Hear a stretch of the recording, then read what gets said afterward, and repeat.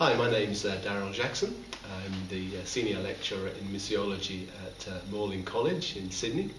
Morling's um, a college that has a basic Baptist um, framework but trains students from a whole wide range of um, both church backgrounds and uh, ministry backgrounds. Um, why would I decide to come to Hong Kong and spend these days uh, at a conference when there are many other things in a, a typically busy program at the end of semester, papers to be graded, exams to be looked at, and uh, lots of admin to be done at this time of year. It's Very busy. So why am I, why am I here?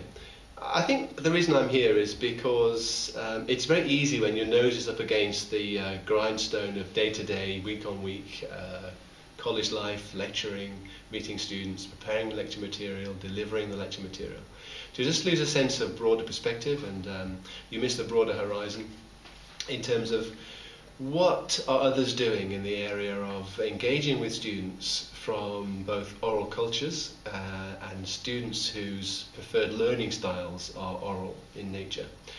Um, and so the, the range of things that I'm currently trying to implement in the classroom by way of uh, delivery of course material, uh, the assessment of course outcomes, uh, which are relying upon uh, oral, more oral methods, uh, so case study approaches, Um, we're using biblical storytelling as a form of assessment for part of our cross-cultural communication course. It's good to have uh, the opportunity to meet with peers who are doing similar things or doing different things and to find out uh, is what I'm doing, um, be, is it seen as having uh, integrity uh, academically in other places? Um, I think it's just that ability to, to meet others who are trying to struggle with similar questions that I'm struggling with. And finding a measure of affirmation for some of the things I am doing, uh, being able to learn from what others are doing.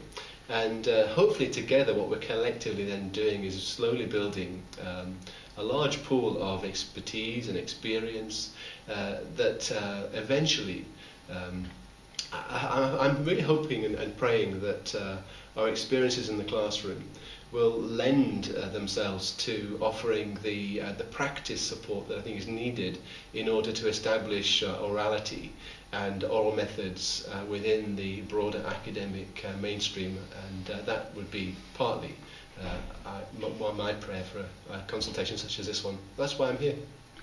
So, if there is anything you're going back to Australia with that uh, um, is going to be affected as a result of what you've gleaned so far, what might at least one of those things be? Yeah, one of the interesting things about um, my own um, academic career, you can probably tell, although I'm working in Australia, uh, that I'm not Australian. I'm uh, from the UK, uh, moving, uh, having moved to Australia fairly recently. And one of the things that struck me immediately about my um, time in uh, Australia was the length of time it takes many of our students to complete their studies, um, their program of studies. Uh, it could be an undergraduate uh, Bachelor of Ministry, Bachelor of Theology, uh, or for those who already have their first degree, it could be an MDiv program. Um, and um, many of these students will be with us for uh, six, seven, eight years uh, as they complete their program of studies. And the, the immediate question was, why, why does it take so long? You know, it, it, typically the residential um, seminary program is a three-year program, uh, and you then move on out and uh, start ministry. What I've discovered um, in Australia, which uh, was uh, certainly important in the UK, but it, it's particularly uh, common in, in Australia is many of our students are in pastorate. They're, they're, they're in a sense, in, they're in an intern position. So they're, they're actually training on the job.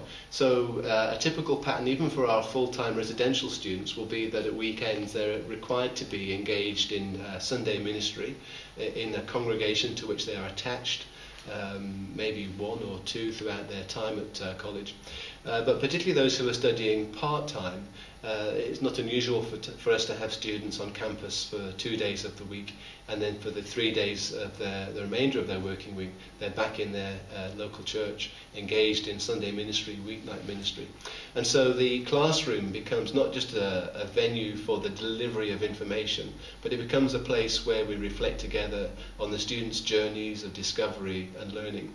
And I think what I've um, particularly uh, seen in a fresh perspective uh, through being here is, um, and, and hearing a number of colleagues here talking about um, some of the difficulties of the transition that students find they have to make when they leave a full-time residential program and suddenly they have to go into ministry.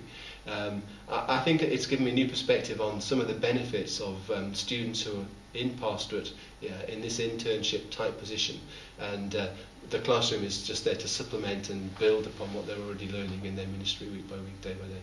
That's great. Well,